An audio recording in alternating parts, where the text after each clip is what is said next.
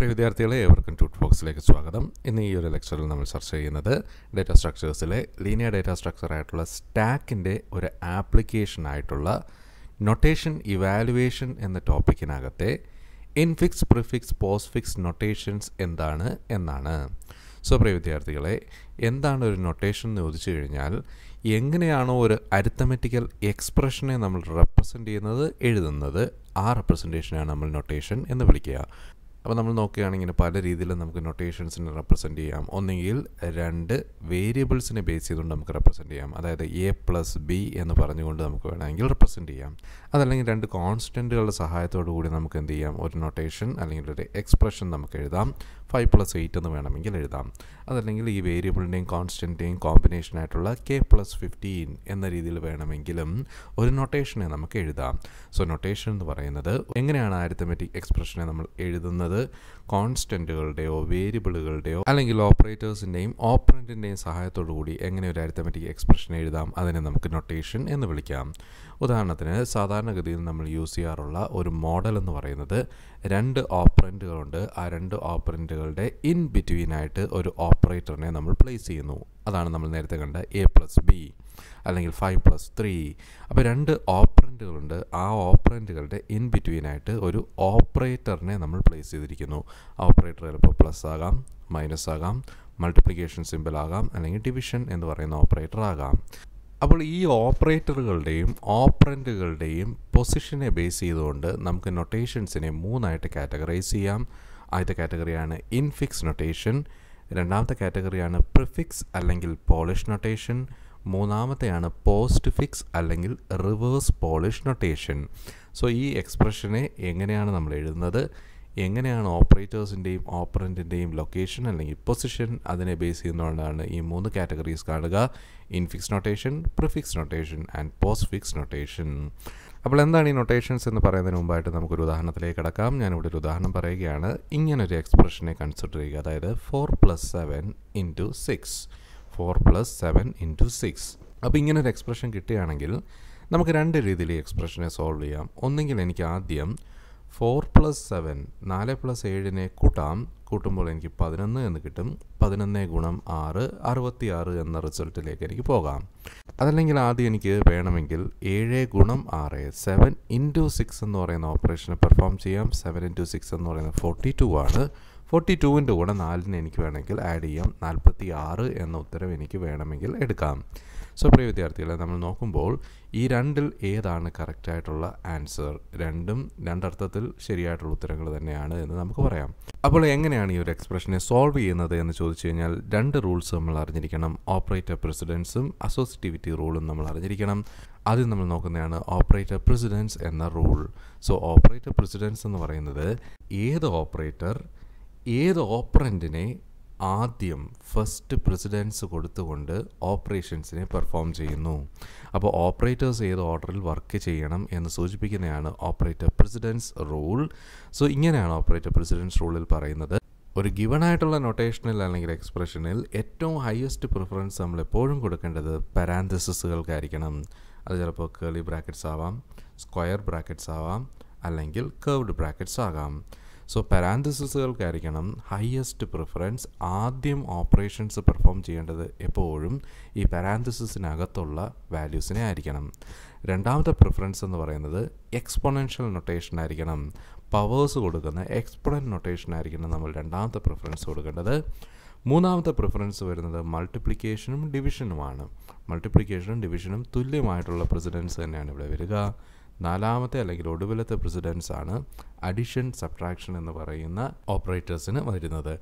So ഇതാണ് ഈ നാല് ഓപ്പറേറ്റർ പ്രസിഡൻസ് റൂളുകൾ എപ്പോഴും നമ്മളൊരു എക്സ്പ്രഷൻ എടുക്കുകയാണെങ്കിൽ ഹയസ്റ്റ് പ്രയോറിറ്റി പാരാന്തസിനായിരിക്കണം രണ്ടാമത്തെ പ്രയോറിറ്റി എക്സ്പൊണൻഷ്യൽ നൊട്ടേഷൻ ആയിരിക്കണം മൂന്നാമത്തെ പ്രയോറിറ്റി മൾട്ടിപ്ലിക്കേഷനും ഡിവിഷനുമാണ് നാലാമത്തെ പ്രയോറിറ്റി അഡിഷനും സബ്ട്രാക്ഷനുമാണ് ഇനി ഓപ്പറേറ്റർ പ്രസിഡൻസ് അറിഞ്ഞാൽ മാത്രമേ നമുക്ക് അസോസിയേറ്റിവിറ്റി റൂളിനെ കുറിച്ച് പറയാനായിട്ട് കഴിയത്തുള്ളൂ. ഒരേ പ്രസിഡൻസ് ഉള്ള ഓപ്പറേറ്റേഴ്സ് വരികയാണെങ്കിൽ എങ്ങനെയാണ് ഈ ഓപ്പറേറ്റേഴ്സ് വർക്ക് ചെയ്യുക? നമ്മൾ കണ്ടു. മൾട്ടിപ്ലിക്കേഷനും ഡിവിഷനും ഒരേ പ്രയോറിറ്റിയാണ് അഡീഷനും സബ്ട്രാക്ഷനും ഒരേ പ്രയോറിറ്റിയാണ്. അങ്ങനെയാണെങ്കിൽ ഈ രണ്ട് ഓപ്പറേറ്റേഴ്സും ഒരേ എക്സ്പ്രഷനിൽ വരികയാണെങ്കിൽ എങ്ങനെ അവരെ കൺസിഡർ ചെയ്യണം? അതിനെ നമ്മൾ സഹായിക്കുന്നതാണ് അസോസിയേറ്റിവിറ്റി. അസോസിയേറ്റിവിറ്റി പറയുന്ന ഇതാണ്. എക്സ്പൊണന്റിനാണ് ഏറ്റവും കൂടുതൽ പ്രയോറിറ്റി ഉള്ളത്. ഒന്നിൽ കൂടുതൽ എക്സ്പൊണന്റുകൾ ഒരേ എക്സ്പ്രഷനിൽ വരികയാണെങ്കിൽ ഒന്നിൽ കൂടുതൽ എക്സ്പൊണന്റുകൾ ഒരേ എക്സ്പ്രഷനിൽ വരികയാണെങ്കിൽ റൈറ്റ് സൈഡിൽ നിന്ന് ലെഫ്റ്റ് സൈഡിലേക്ക് വേണം അതിന്റെ പ്രയോറിറ്റി അല്ലെങ്കിൽ ഓപ്പറേഷൻ പെർഫോം ചെയ്യാൻ. വലതുവശത്ത് നിന്ന് ഇടതുവശത്തേക്ക് വേണം ഓപ്പറേഷൻസ് അല്ലെങ്കിൽ പ്രയോറിറ്റി അസൈൻ ചെയ്തുകൊണ്ട് ഈ ഓപ്പറേറ്ററിന്റെ ഓപ്പറന്റുകളെ കൺസിഡർ ചെയ്യാൻ. മൾട്ടിപ്ലിക്കേഷനും ഡിവിഷനും ഒരേ എക്സ്പ്രഷനിൽ വരികയാണെങ്കിൽ പ്രയോറിറ്റി എന്ന് പറയുന്നത് ലെഫ്റ്റിൽ നിന്ന് റൈറ്റിലേക്ക് നമ്മൾ പോകുമ്പോൾ ആദ്യം ആരെയാണോ കാണുന്നത്? ആ പർട്ടിക്കുലർ ഓപ്പറേറ്ററിനെ എന്ത് ചെയ്യുക? ആദ്യം പെർഫോം ചെയ്യുക. മൂന്നാമത് നമ്മൾ പറയുന്നു അഡീഷനും സബ്ട്രാക്ഷനും വരികയാണെങ്കിൽ ഇതേ അസോസിയേറ്റിവിറ്റി തന്നെയാണ് ലെഫ്റ്റ് ടു റൈറ്റ് എന്ന് പറയുന്ന അസോസിയേറ്റിവിറ്റി ആയിരിക്കും ഫോളോ ചെയ്യുക.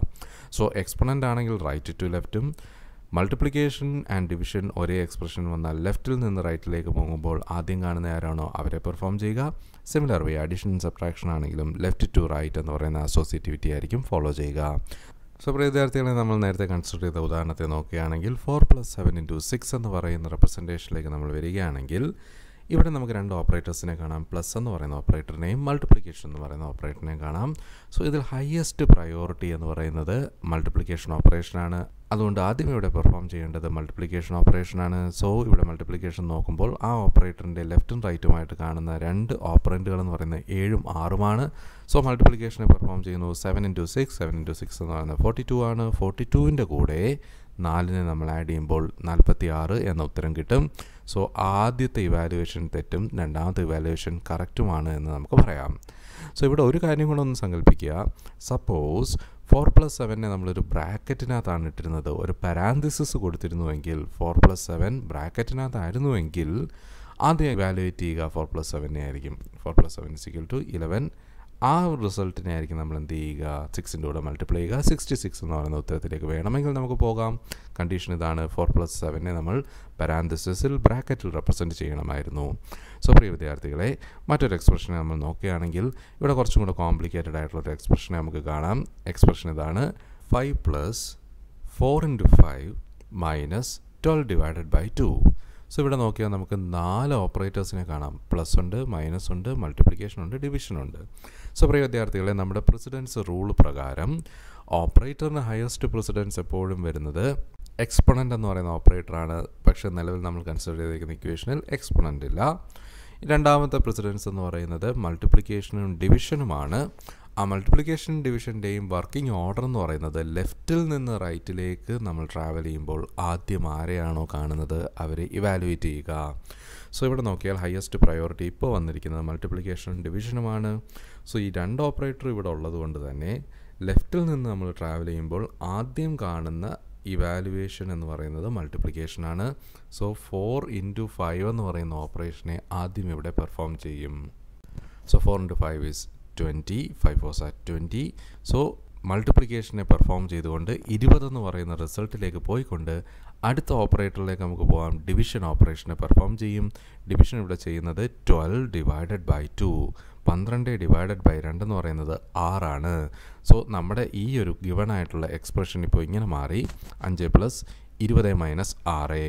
ആദ്യം എന്ത് ചെയ്തു? മൾട്ടിപ്ലിക്കേഷനെ പെർഫോം ചെയ്തു. രണ്ടാമത് എന്ത് ചെയ്തു? ഡിവിഷനെ പെർഫോം ചെയ്തു.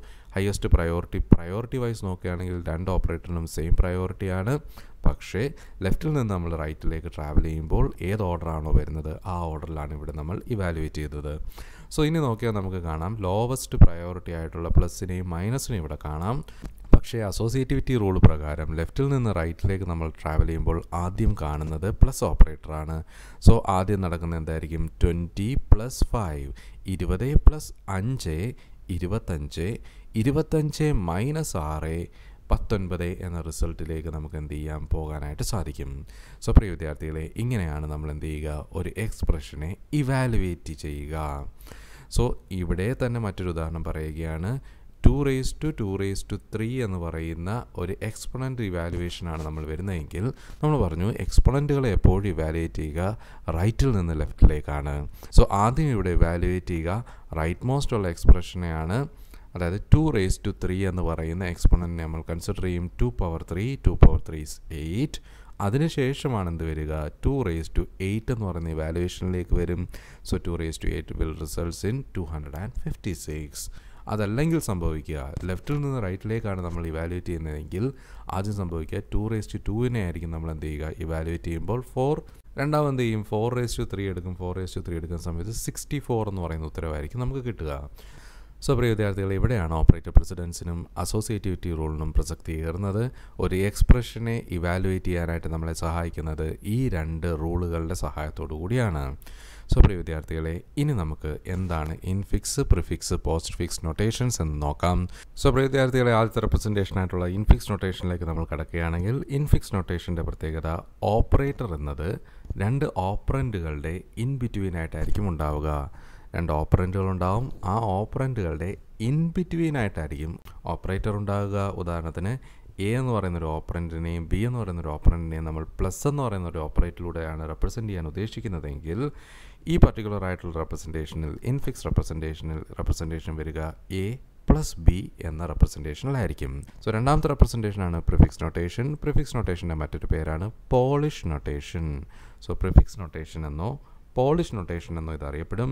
സോ ഇങ്ങനെ ഒരു റെപ്രസെന്റേഷനിൽ പ്രിഫിക്സ് റെപ്രസെന്റേഷനിൽ നോക്കുകയാണെങ്കിൽ എ പ്ലസ് ബി എന്ന് നമ്മൾ കൺസിഡർ ചെയ്ത ഇൻഫിക്സ് നൊട്ടേഷനെ തന്നെ ഇവിടെ റെപ്രസെന്റ് ചെയ്യുക പ്ലസ് എ ബി എന്നായിരിക്കും. അതായത് ഓപ്പറേറ്റർ ആയിരിക്കും ഓപ്പറന്റുകൾക്ക് മുന്നിലായി വരിക. രണ്ട് ഓപ്പറന്റുകളുടെ മുന്നിലായിട്ട് ആദ്യമായിട്ട് ഓപ്പറേറ്റർ വരുന്നു. അതുകൊണ്ടാണ് ഇവിടെ പ്രീ ഫിക്സ് പ്രിഫിക്സ് നേരത്തെയാണ് വരുന്നത് ആദ്യമാണ് വരുന്നത്.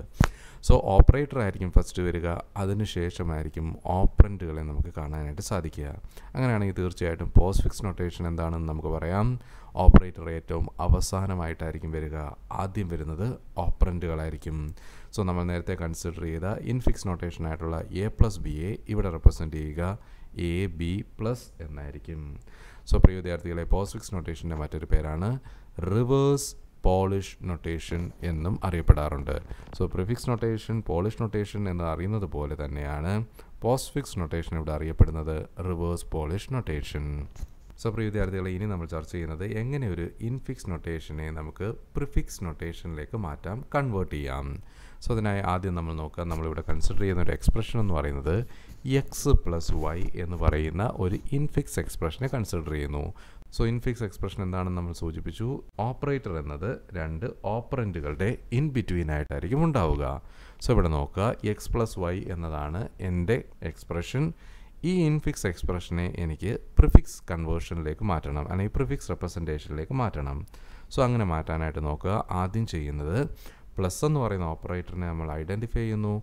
ആ പ്ലസ് ഓപ്പറേറ്ററിന്റെ ലെഫ്റ്റും റൈറ്റും ഓപ്പറന്റുകൾ ഉണ്ടോ എന്ന് നമ്മൾ ചെക്ക് ചെയ്യുന്നു. പ്ലസിന്റെ ലെഫ്റ്റിലിരിക്കുന്നതാണ് എക്സ് എന്ന് പറയുന്ന ഓപ്പറന്റ് റൈറ്റിലിരിക്കുന്നതാണ് വൈ എന്ന് പറയുന്ന ഓപ്പറന്റ് സോ ഫസ്റ്റ് നമ്മൾ ചെയ്യേണ്ടത് ഈ ഓപ്പറേറ്ററിനെ എന്ത് ചെയ്യുക? ആദ്യം പ്ലേസ് ചെയ്യുക. രണ്ടാമത് ഫസ്റ്റ് ഓപ്പറന്റിനെ വെക്കുക. മൂന്നാമത് എന്ത് ചെയ്യുക?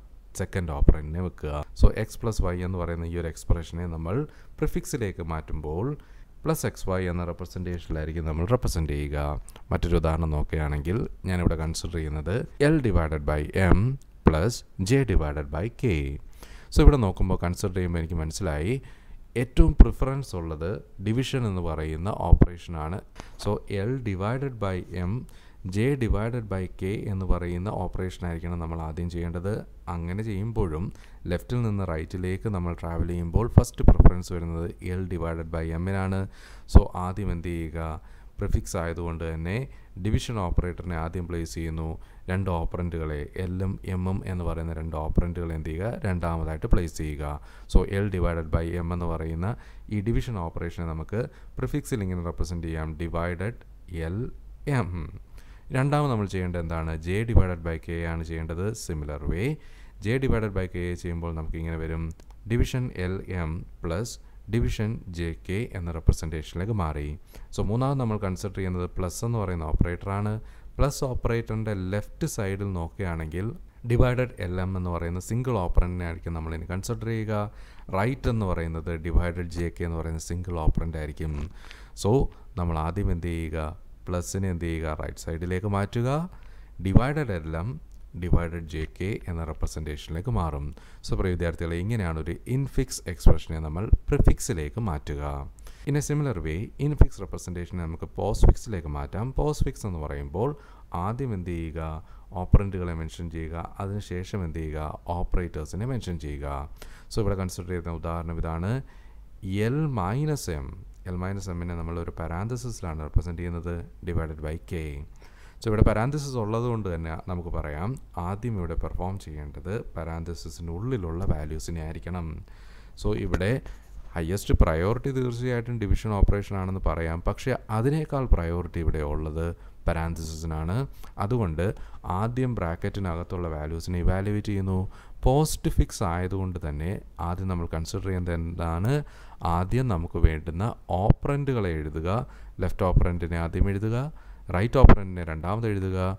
ഏറ്റവും ഒടുവിലായിട്ട് ആ പർട്ടിക്കുലർ ആയിട്ടുള്ള ഓപ്പറേറ്ററിനെ മെൻഷൻ ചെയ്യുക. സോ ഇവിടെ ലെഫ്റ്റ് ഓപ്പറന്റ് എന്ന് പറയുന്നത് എല്ലാണ് റൈറ്റ് ഓപ്പറന്റ് എന്ന് പറയുന്നത് എം ആണ്. അതിനുശേഷം എന്ത് ചെയ്യുക? മൈനസ് എന്ന് പറയുന്ന ഓപ്പറേറ്ററിനെ മെൻഷൻ ചെയ്യുക. ഇനി നമ്മൾ കൺസിഡർ ചെയ്യുന്നത് ഡിവിഷൻ എന്ന് പറയുന്ന ഓപ്പറേഷനാണ് അല്ലെങ്കിൽ ഓപ്പറേറ്ററാണ് ആ ഒരു ഓപ്പറേറ്ററിന്റെ ലെഫ്റ്റിലേക്ക് നമ്മൾ കൺസിഡർ ചെയ്യുന്നത് എൽ എം മൈനസ് എന്ന് പറയുന്ന സിംഗിൾ ആയിട്ടുള്ള ഓപ്പറന്റിനെ ആയിരിക്കണം. റൈറ്റുള്ള ഓപ്പറന്റ് എന്ന് പറയുന്നത് കെ ആയിരിക്കണം. സോ റൂൾ പ്രകാരം നമ്മൾ എന്താണ് ചെയ്യേണ്ടത്? ലെഫ്റ്റ് ഓപ്പറന്റിനെ ആദ്യം എഴുതുക. ലെഫ്റ്റ് ഓപ്പറന്റ് എന്ന് പറയുന്നത് എൽ എം മൈനസ് ആണ്. റൈറ്റ് ഓപ്പറന്റിനെ രണ്ടാമത് എഴുതുക. റൈറ്റ് ഓപ്പറന്റ് കെ ആണ്. ഡിവിഷൻ എന്ന് പറയുന്ന ഓപ്പറേറ്ററിനെ ഒടുവിലായിട്ട് എഴുതുക. ഡിവൈഡ് എന്ന് എഴുതുക. So L minus M divided by K എന്ന് പറയുന്ന ഇൻഫിക്സ് എക്സ്പ്രഷനെ നമ്മൾ കൺവേർട്ട് ചെയ്യുമ്പോൾ ഇങ്ങനെ മാറും. L M minus K division. So പ്രിയ വിദ്യാർത്ഥികളെ ഇങ്ങനെയാണ് നമ്മൾ ഇൻഫിക്സ് എന്ന് പറയുന്ന റെപ്രസെന്റേഷനെ പ്രിഫിക്സിലേക്കും പോസ്റ്റ് ഫിക്സിലേക്കും നമ്മൾ കൺവേർട്ട് ചെയ്യുക. പ്രിയ വിദ്യാർത്ഥികളെ ഈ ഒരു ലെക്ചർ നിങ്ങൾക്ക് മനസ്സിലായെന്ന് ഞാൻ വിശ്വസിക്കുന്നു. ഇൻഫിക്സ് പ്രിഫിക്സ് പോസ്റ്റ് ഫിക്സ് എന്ന എക്സ്പ്രഷനെ സംബന്ധിക്കുന്ന ഈ ഒരു ലെക്ചർ മനസ്സിലായെങ്കിൽ തീർച്ചയായിട്ടും ചാനൽ സബ്സ്ക്രൈബ് ചെയ്യുന്ന കാര്യം പരിഗണിക്കുക. ലൈക്ക് ചെയ്യുക ഷെയർ ചെയ്യുക. നിങ്ങളുടെ അഭിപ്രായങ്ങൾ തീർച്ചയായിട്ടും കമന്റ് ബോക്സിൽ മെൻഷൻ ചെയ്യുക. പ്രിയ വിദ്യാർത്ഥികളെ മറ്റൊരു വീഡിയോയുമായി നമുക്ക് വീണ്ടും കാണാം. അതുവരേക്കും ഏവർക്കും നന്ദി നമസ്കാരം.